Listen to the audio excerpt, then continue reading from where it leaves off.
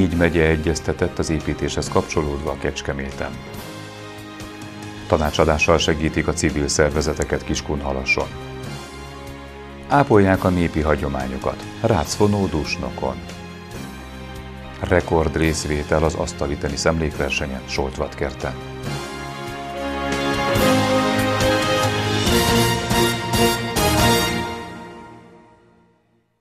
Köszöntöm kedves nézőinket! A megyei krónika kezdődik, amelyben térségünk fontosabb eseményeit foglaljuk össze. Bácskiskun megyei vállalkozók számára is sok lehetőséget jelent a Paksi atomerőmű bővítése. Az új blokk több ezer embert vonz majd Paks térségébe, akiket minden téren ki kell szolgálni. A Bácskiskun megyei önkormányzat azon dolgozik, hogy lehetőleg a térségben dolgozó vállalkozások kapják ezen a téren a legfőbb szerepet. Négy megye írt alá megállapodást a Paksi atomerőművel, valamint Süli Jánossal a Paksi atomerőmű két új blokkjának tervezéséért, megépítéséért és üzembe helyezéséért felelős tárca nélküli miniszterrel. Az elmúlt héten az érintett megyék képviselői ültek le közös tárgyalóasztalhoz. Baranya, Somogy-Tolna megye és Bácskiskun megye. Mostani tárgyalással szeretnénk Bácskiskun megye pozícióit erősíteni, tehát azokat a lehetőségeket megtalálni, amiben együtt tudunk működni. Az atomerőmű bővítése révén több területen is szükség van beszállítókra. A mezőgazdaság számára ugyanúgy munkát adhat a fejlesztés, mint akár a logisztikával, infrastruktúra fejlesztéssel, vagy éppen a turizmussal foglalkozó cégek számára.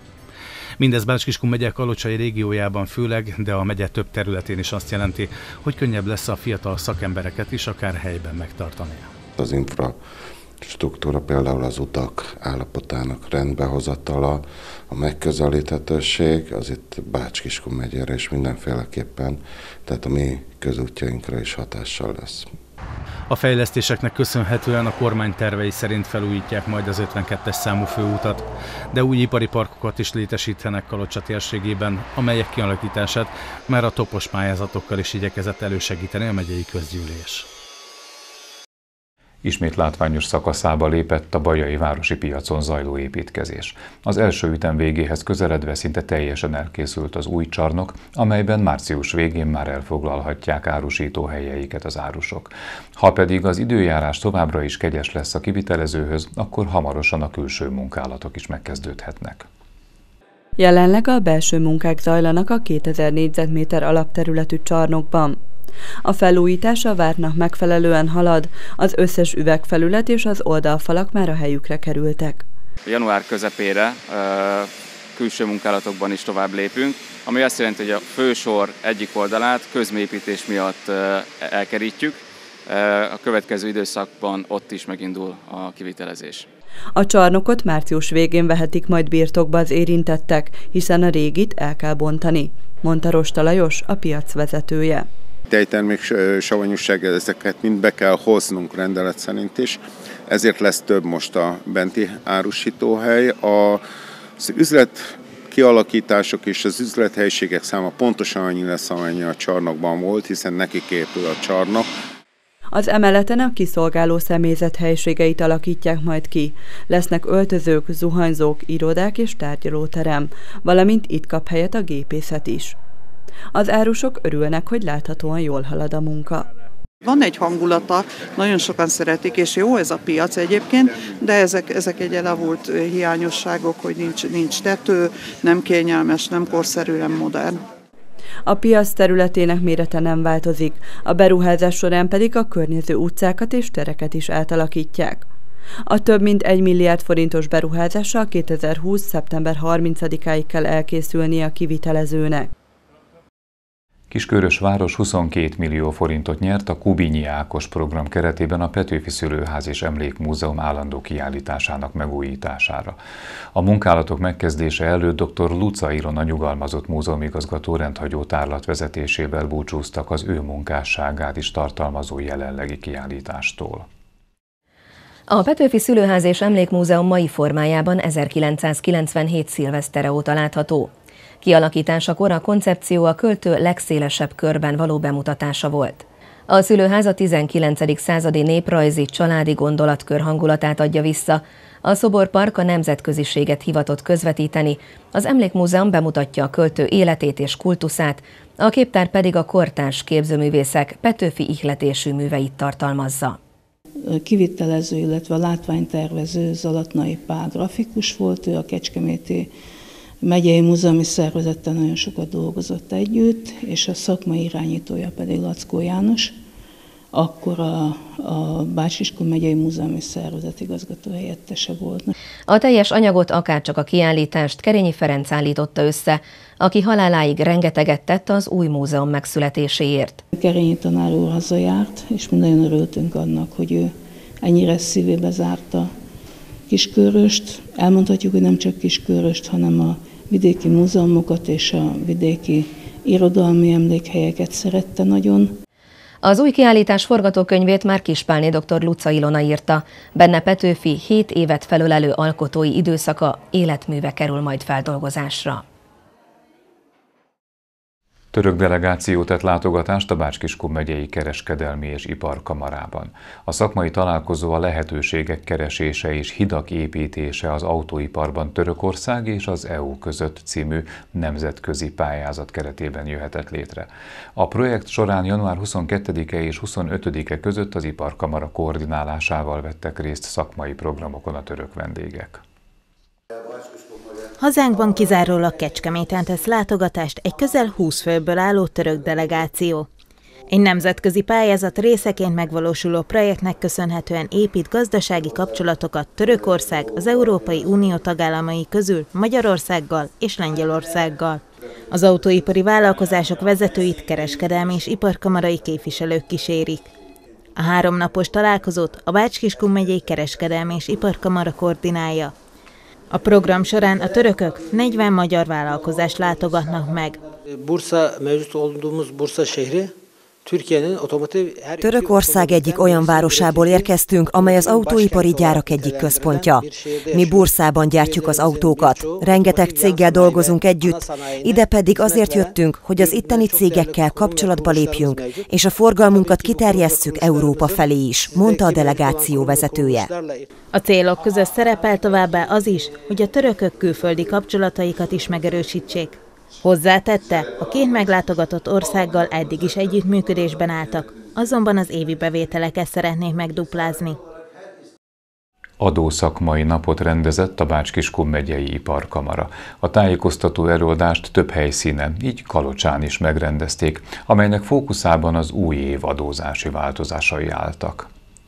Leginkább az SZIA-t és az áfát érintő változások történtek 2020-ban. Ezekről szólt az a tájékoztató jellegű adó szakmai nap, melyet a Bácskiskun megyei kereskedelmi és iparkamara rendezett meg. Több helyszínen, több időpontban zajlott a fórum, így Baja és Kiskunhalas mellett Kalocsán is megrendezésre került.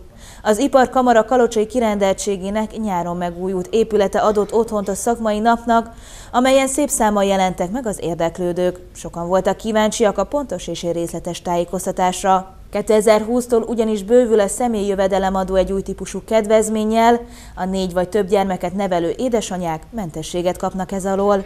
Továbbá új TB jogszabályok is aktualizálódtak, a nyugdíj mellett dolgozók járulékmentesen végezhetik munkájukat, mely mellett összevonásra kerültek a járulékok, amely egységesen 18,5% lesz. Az ÁFA törvényben azonban már szigorítás került bevezetésre, ez szerint minden belföldi adóalany nevére kiállított számláról adatot kell szolgáltatni. Az előadásokat Szabó Gábor, a Navbács Kiskun megyei adó- és vámigazgatóságának tájékoztatási osztályvezetője tartotta. A prezentációt követően a résztvevőknek lehetősége nyílt konzultációra is. Minden fontos aktualitásról tájékozódhattak az érdeklődők. Hatodik alkalommal szervezett civil konferenciát Kiskunhalason a Halasi Média és Kultúra Kft. A Halason és a környező településeken működő civil szervezetek képviselői több szakembertől kaphattak válaszokat a felmerülő kérdéseikre. A Kiskunhalasi és környékbeli civil szervezetek vezetőinek, képviselőinek tartottak ma előadást az évek óta nagy sikernek örvendő civil konferencián. Az eseményt ezúttal is a Halasi Média és Kultúra Kft. szervezte.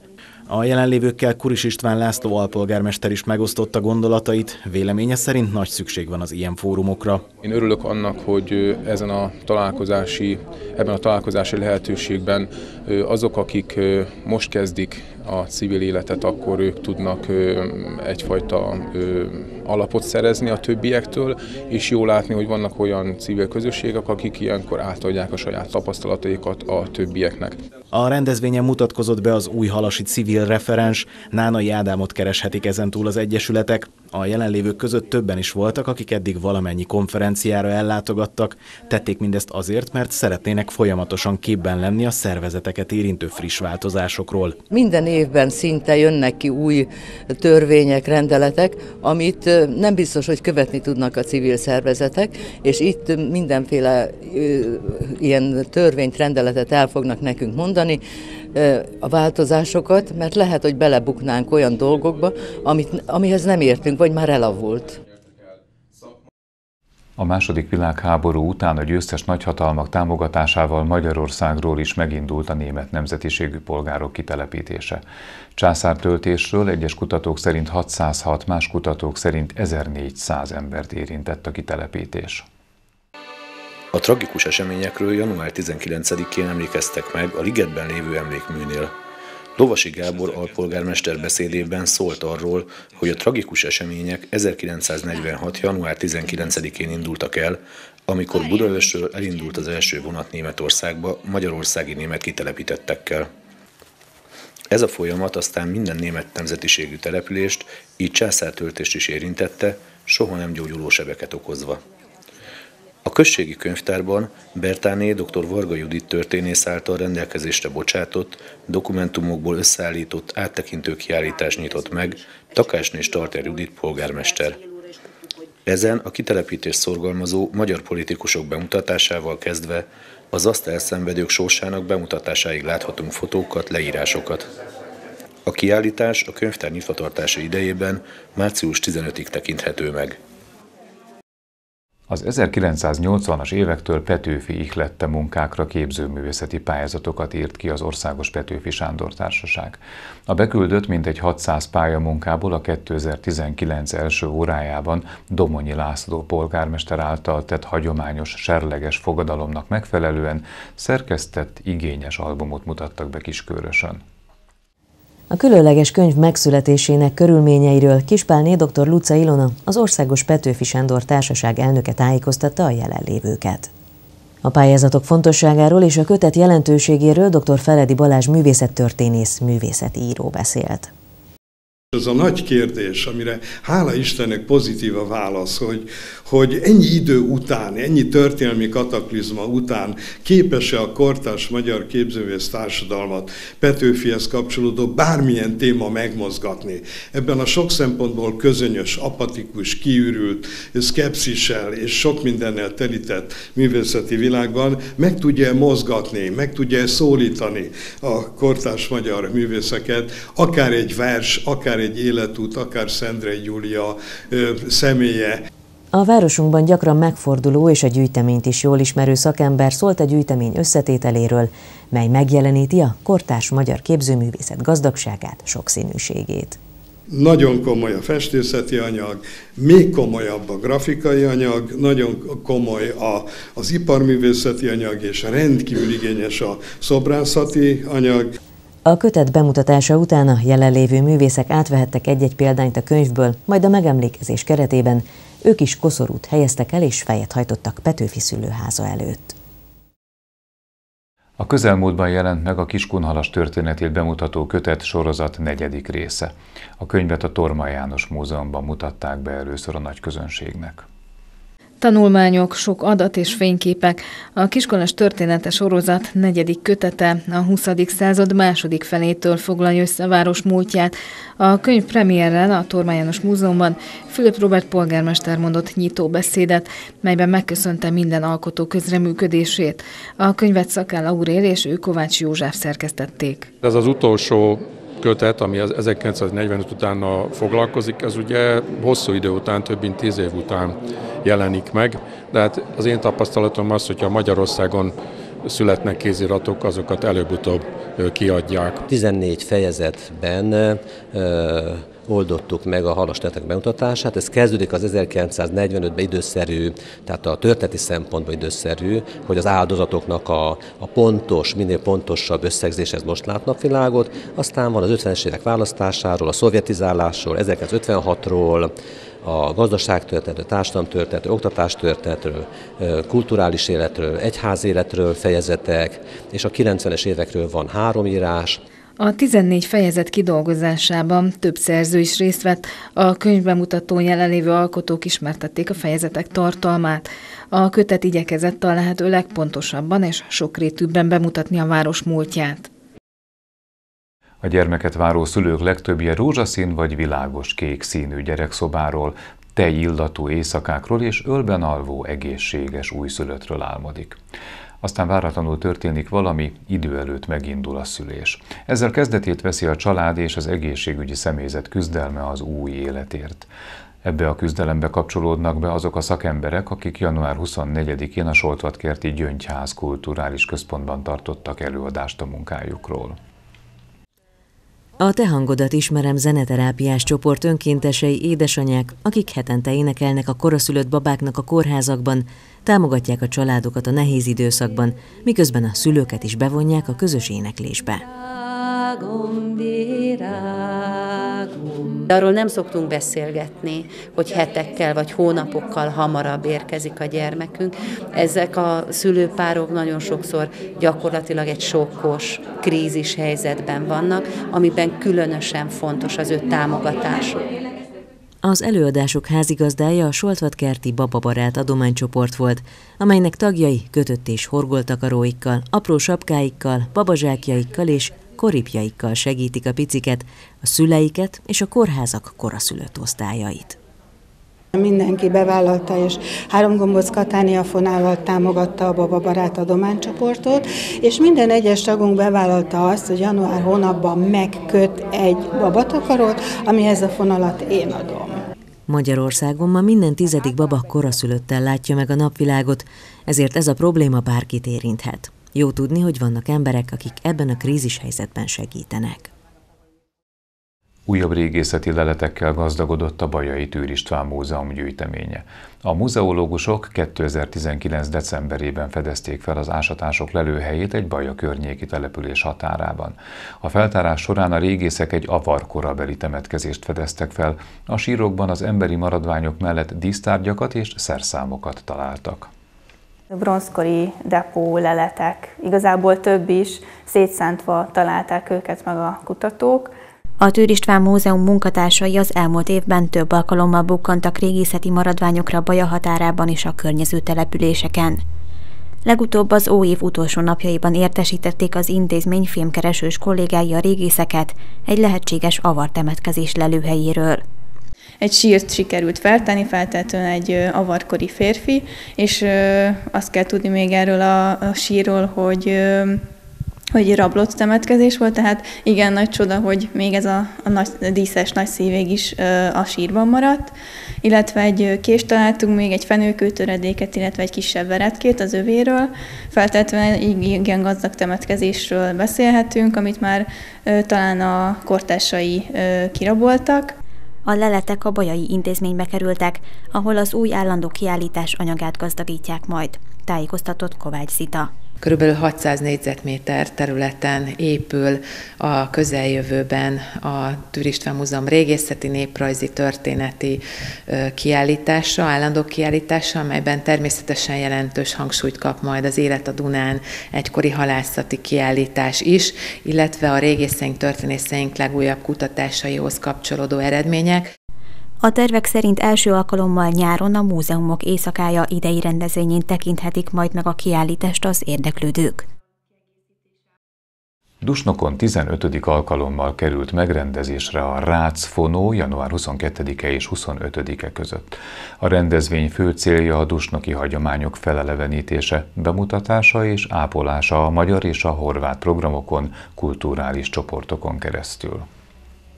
2006 óta a Rácfonó tartalmas téli estéket biztosít a lakosságnak, a vendégeknek, alkalom nyílik találkozni egymással, és a kapcsolatokat segíti szorosabbá tenni. A szomszéd településekről is jöttek fellépők, így Bátya, Fogtő és Nemesnádudvar mutatta be falu történetét és kultúráját. A dusnoki magyar és horvát csoportokban több korosztály szerepel, akik egy-egy napon mutatták be színvonalas műsoraikat. Dusnokon a fiatalabb és idősebb korosztály jól megfér egymással, van utánpótlás, mint ahogy alpolgármester úr is mondta köszöntőjében. Évről évre javuló tendenciát ö, mutatunk. Idén többen fognak várhatóan születni, mint tavaly születtek, úgyhogy lesz kinek kulturális programokat szervezni.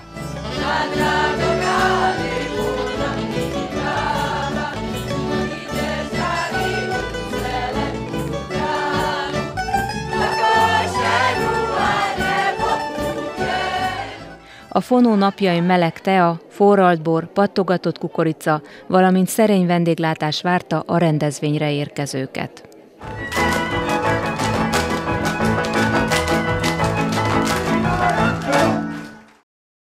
Különleges előadásra várták az érdeklődőket a Bajai Városháza dísztermébe. Az idén ugyanis egy régi bunyevác szokást, a maszkajárást ünneplik majd a városban február végén. A szervezők ennek apropóján egy előadás keretében elevenítették fel a hagyomány eredetét, és egy kis meglepetéssel is készültek ezen az estin a résztvevőknek.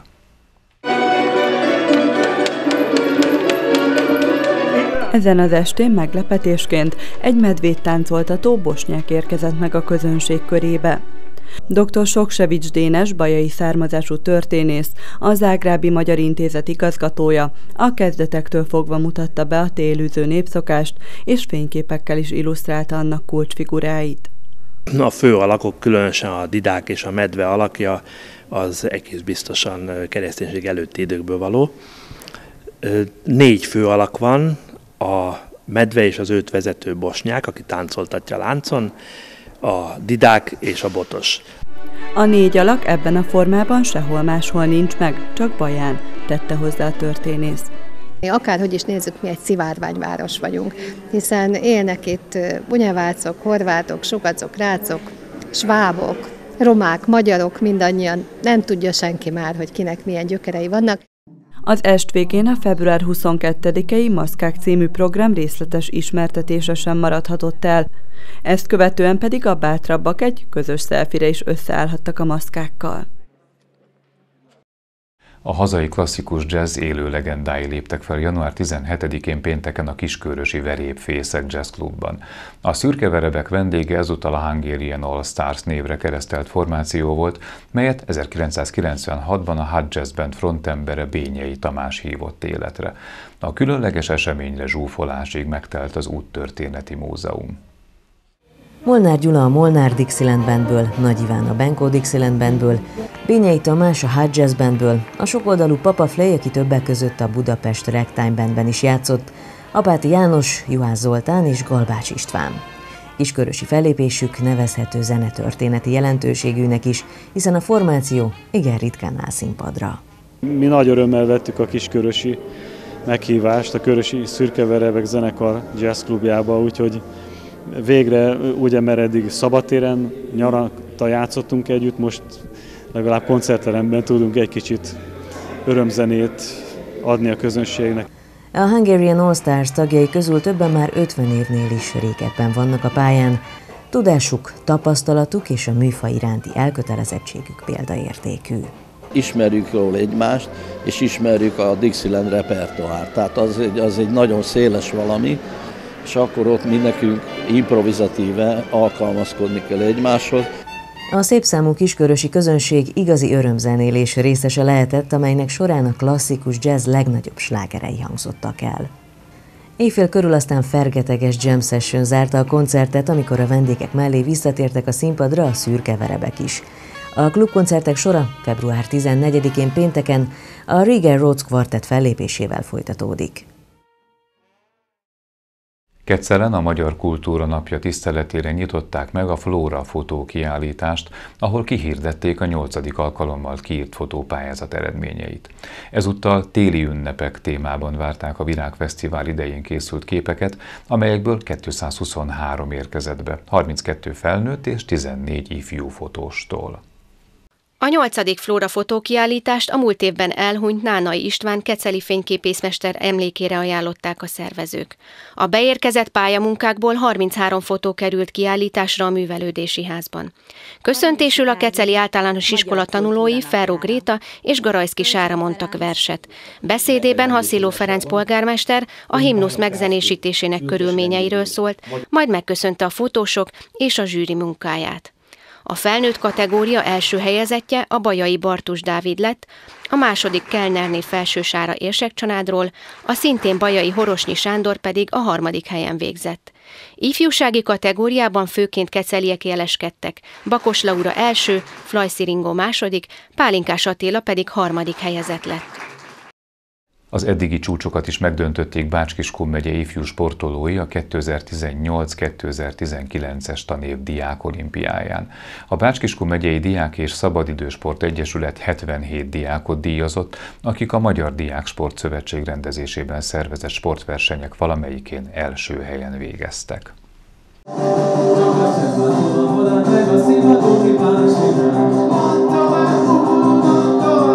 A Bójai János Gimnázium tanulói musical előadással köszöntötték a megye legeredményesebb diák sportolóit.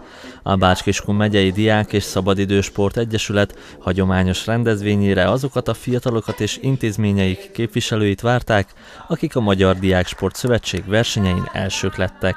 A délelőtt tehát az előző tanév diák olimpiai bajnokairól és felkészítőikről, iskoláikról szólt a megyeháza dísztermében.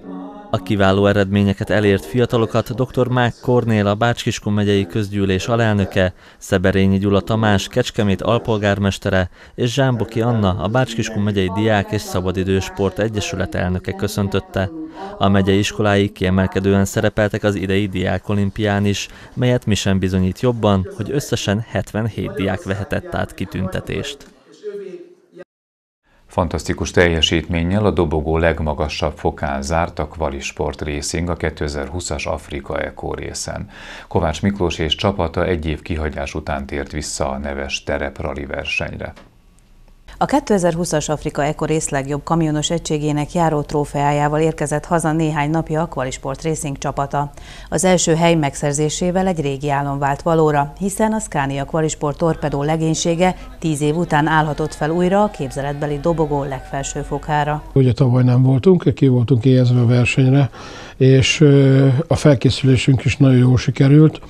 Ugye még az egy olyan olyan esemény volt nálunk, hogy meghívtuk a helyi atyát, aki megáldott minket, és a Jóisten is velünk volt.